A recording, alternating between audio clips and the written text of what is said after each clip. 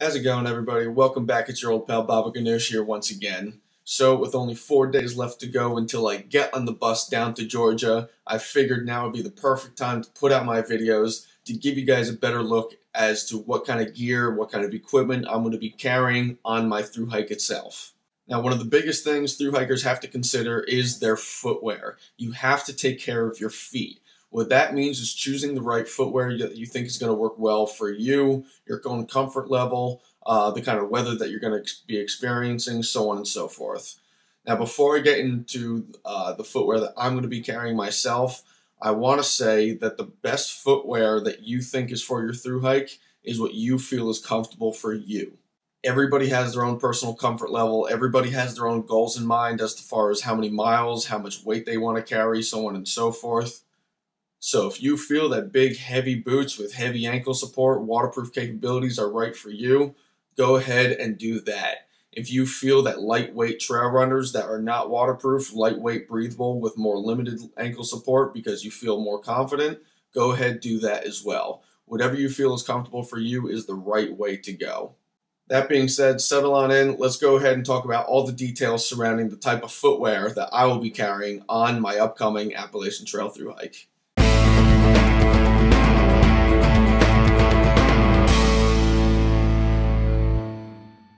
So, okay, guys, like I said, in today's video, we're going to talk about the uh, footwear that I'm going to be carrying on my through hike. Uh, I'm going to be talking about what I feel comfortable with, the accessories, extra socks, so on and so forth that I'm going to be carrying, and my overall strategy going into choosing my footwear. So, of course, when choosing my footwear, weather was a huge consideration. My toes do have a tendency to get cold very quickly, so of course, that was something that I wanted to caution against, wanted to take in consideration when choosing the proper footwear for me. Now, that goes a few different ways the kind of shoes that I'm going to be carrying, the kind of socks that I'm going to hike in, as well as the kind of socks that I'm going to have at camp. Now, after first considering going with a more waterproof boot in the beginning, taking those on some uh, shakedown hikes and such things, um, after the way they just performed for me, the, with the way they kind of just beat my feet up a little bit, uh, I just felt that wasn't the right direction for me to go in. So I am opting to go with something more comfortable for me personally, as opposed to something that is going to give me more ankle support and waterproof. So I will be hiking in the Altra Lone Peak 3.5. Altra has been really kind of taking over the market in regards to trail runners, especially in regards to through hikers the toe box shape uh, just really allows for your foot to stay nice and relaxed, kind of stretch all the tendons, ligaments, all the muscles inside your feet.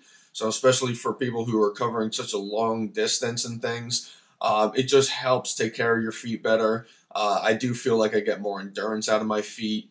Uh, they're going to end up being stronger, just be more comfortable overall. Now, certainly these are not waterproof, but they are very, very breathable. Now, certainly you could be sitting there saying, of course, you know, they're going to absorb water. Sure, that's something to take into consideration, especially going through the Smokies, hiking through snow and other such things. You know what? If we see snow in the forecast, if we have to, have to hike through it, so be it. You know, we'll be looking to possibly get to a town, get to a motel, hotel, hostel, whatever the case may be, so we can get someplace warm, dry, and safe. But that's something that we can keep an eye out for. That's something we can plan around, so on and so forth for the most of the time, I'd rather have my feet stay comfortable. I can always dry these things out a little bit quicker than if they were Gore-Tex, something waterproof to where they held the water in for a longer period of time. So Altra Lone Peak 3.5, really popular hiking shoe amongst through hikers, just really, really comfortable overall. They're getting more and more popular by the year, so this is what I will be hiking in. Now, my normal shoe size is a size 11. I will be starting with a size 11 and a half. That's the most comfortable for me, especially dealing with foot swell uh, while I am hiking. Now, because my feet do have high arches, I am taking consideration that my feet will grow uh, along my through hike, and so therefore I need to have an additional size, maybe not a size 11, 11 and a half, uh, but something a little bit larger, in fact. So I did get a second pair of Altra Lone Peak 3.5 in a size 12. Again, expecting my feet to grow a little bit along the trail. I do have high arches. They will flatten out over time. When that's going to happen, I don't know. So at least it leaves me with some options here.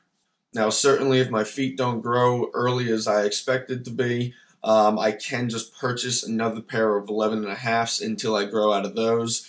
But if they decide to grow a little bit earlier than expecting, at least I have a pair of 12s waiting for me that I can get mailed down ASAP. So that was kind of my strategy going into everything. I know people say, oh, don't buy a whole lot of pair of shoes. Your feet are going to grow. You're going to have to get new ones, so on and so forth. So that's why I'm at least starting with the 11 and a half. So that's all I'm comfortable with to start with. I have size 12s ready to go as my feet expand. I can either buy 11 and a halfs if they don't grow quick enough. I can move on to the 12s, so on and so forth from there. Again, leaves me with some more options. Now, to go along with those shoes, obviously you have to wear socks when you're going out there, otherwise you tear your feet apart. What I'm choosing with, something that I've covered in some of my previous videos, are my darn tough socks. I love these things. They last forever. I love the lifetime warranty. They're just super comfortable.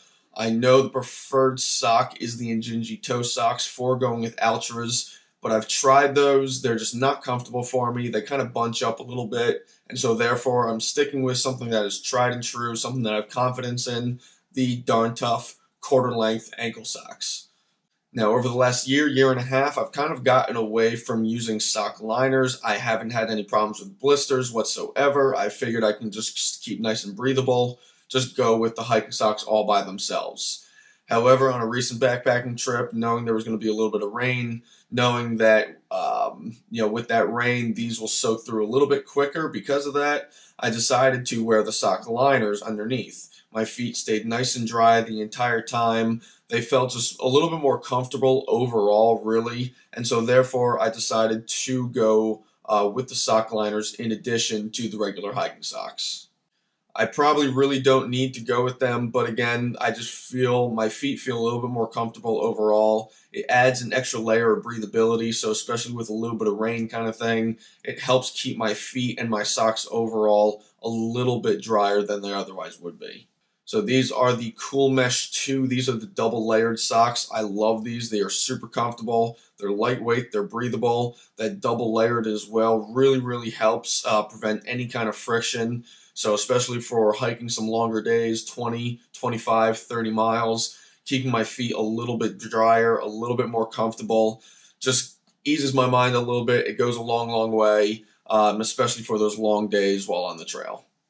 Now, I will be bringing a second pair of hiking socks. I will be bringing the same exact ones, just in a different color. Uh, so that way I can make sure that I, you know I'm wearing them accordingly. I will be bringing a second pair of liners just again to have a second pair in case things get soaking wet, so on and so forth. So keep it nice and simple, keep it nice and lightweight, but still keep myself nice and comfortable. And then moving on to camp socks. Obviously, when you get to camp, you're not moving anymore. You're not keeping yourself warm, especially going through the Smokies where you are going to have some cold nights. So it's important to, you know, throw on those layers, keep your whole body warm, and that includes keeping your feet warm and keeping them dry. So to start off with, I do have the REI Merino Wool liners. Merino wool means that they'll still clean for really, really long as well. Uh, very easy to clean out, very easy to dry out, so on and so forth. Merino wool is also very, very comfortable, very well insulated.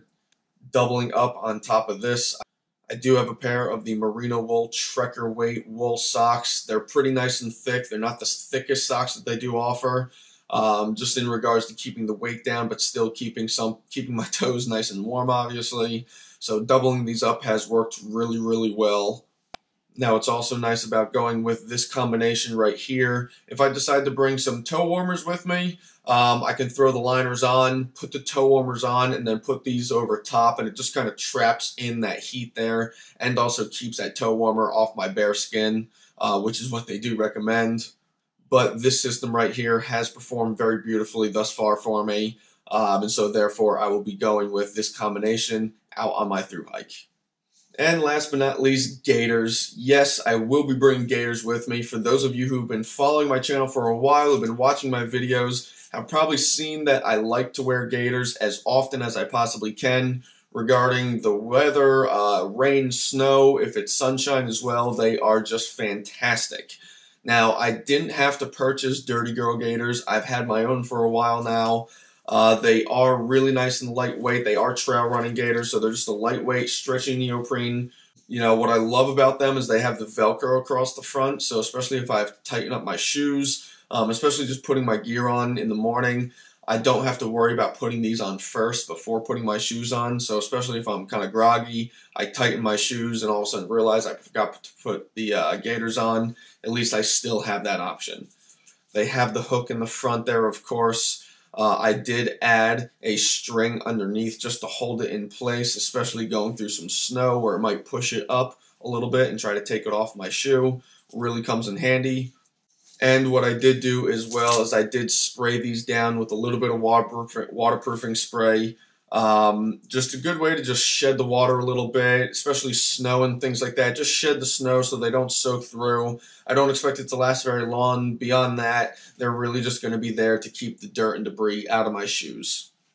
Once the snow melts and everything, even if these strings do wear out and break off, um, as long as I don't have anything trying to push up, these do hold themselves in place uh, without any issue whatsoever. But going through the Smokies just with the snow, I do want to make sure they stay in place. So I did put that string on. I like how they have the little grommets in there, uh, allowing me to do so. These are really nice and lightweight. I think they're like 1.2 ounces combined. So incredibly lightweight, breathable, stretchy. Gets the job done for me. So yeah, that's about it, guys. That's what you got. That's what I got for you here today.